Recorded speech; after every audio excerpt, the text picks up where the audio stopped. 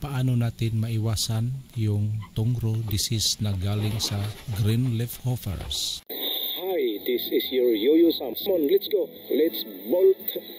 To all lovely ladies and gentlemen, welcome to my channel. At ito ang dapat natin gawin upang maiwasan yung tongro disease. Unang-una, maghanap tayo ng rice seedlings na resistance doon sa tongro o sa green leaf offers. Kasi kung ating itanim ay hindi siya resistance doon sa tongro disease, maaari rin siyang magkaroon ng tongro. Yun ang una-una nating hahanapin. At pangalawa, ang tongro ay umatake yan siya sa in any kind of stages sa iyong rice mas prone talaga kung umatake siya doon sa first and last stages. Umatake siya sa first stages lalo na kung ang iyong palay ay below 1 month pa lang siya. Sa oras na yon ay nagbasal o yung pre-broadcast of fertilizer upang tumaba at makarigin ang iyong palay sa mga bruises na kanyang natamo doon sa pag replanting. Kaya magkaroon ka ng basal at mga ilang araw na yan ay tumaba na yan siya at napagrigin. Doon naman siya umaatak yung green leaf hoppers. Pero yung green leaf hoppers magkaroon lang siya ng pag-swarm kung panay buhos ang ulan na walang tigil doon siya umaatak. Kaya hindi ka makapag-spray na yan.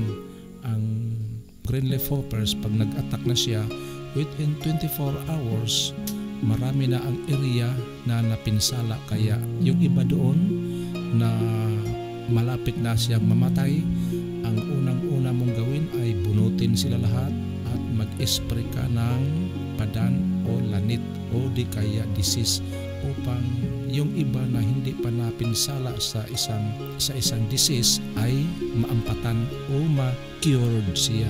Yung namatay ay bunutin mo at mag-replant ka uli ng panibagong rice seedlings na resistance siya against nitong raw.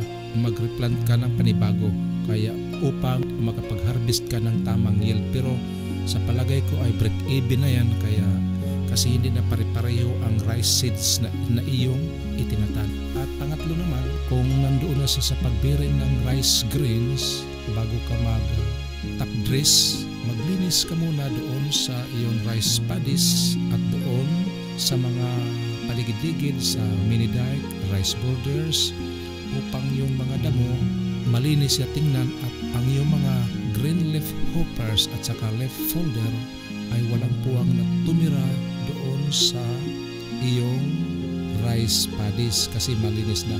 Yun lang kasi ang kanilang titirahan yung mga mayroong mga grassy area kaya kailangan talaga linisin at pagkatapos noon maglagay ka na ng fertilizer yung para sa top dress pagkatapos ng paglagay ng top dressing within 3 days pwede mo nang sundan sa pag-spray upang mapigilan ang paglapit ng mga green leaf hoppers kasi isa yan sa mga nagdala ng viral disease. Dalawang uri ng tungro disease yung spiral at saka viral. Pero yung viral, yun ang pinakamalakas na kumalat kasi dinadala ng insects kaya doon sila palipat-lipat kaya doon kumakalat agad dahil sa dami nila lalo na kung nandoon na yung nagbiring na ng o nagbiring na ng bunga hindi ka na makapag-harvest ng maganda. Malulugi ka na riyan at better luck. Next time na lang for the next season ang iyong gawin kasi wala nang tsansa talaga na makabawi ka luging-lugi ka na sa panahon ng season na ito kung umaatake sila. Kahanggang dito lang, so maraming salamat pala sa panonood ng aking content na ito. This is your Yo-Yo Sam. See you on my next vlog and God bless us all. Bye-bye.